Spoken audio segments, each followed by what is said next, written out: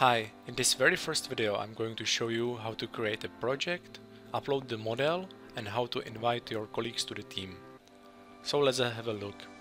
Sign in to the autoconverter and for the very first time you will see there are no models under your project and there is also no project at all. To change that, let's create a project. It's very easy, just click on the icon next to the project. Give your project a name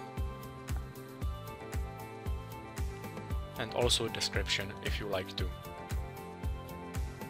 And create a project. Project is created in a few seconds and then you can upload the model under this project.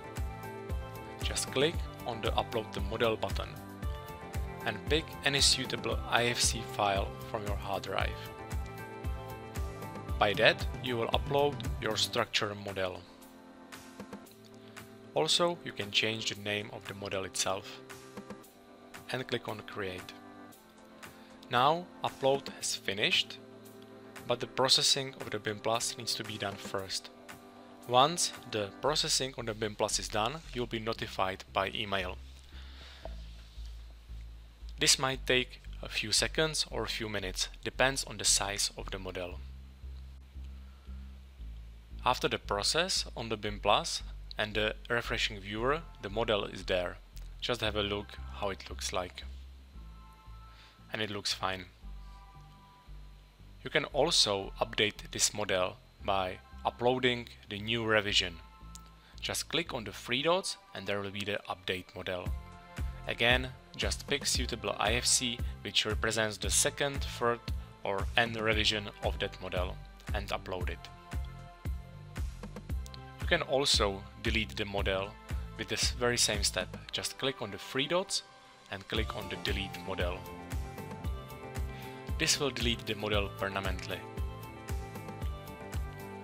You can also delete the project if you like to. Just click on the project menu and you will see the trash bin icon next to the project name. Again, just click on the trash bin and you can delete the project. Be careful, by deleting the project you will also delete all the models under this project. These were very simple steps how to create the project and upload the model. You can do very same thing via the Bimplus portal or through the API built in the desktop application of SCIA Engineer, Allplan or Revit. Now let's invite colleague to your team and project.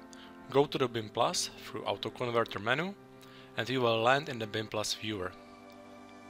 Open the menu there and go to Open Project.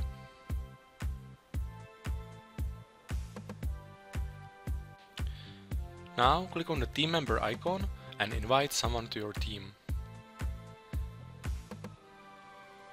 Just fill in the email address and assign the role. Now let's invite someone to the team. Go back to the dashboard and click in the team members on the team level. It's down there on the bottom. Here you can invite your colleague to the team which will allow him to see all the projects and all the models under that team. You can also reassign the license for the autoconverter.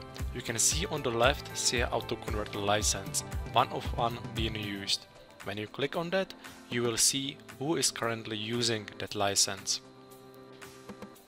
I can take out the license from this user and assign it to someone else. Only the team admins has a right to do so.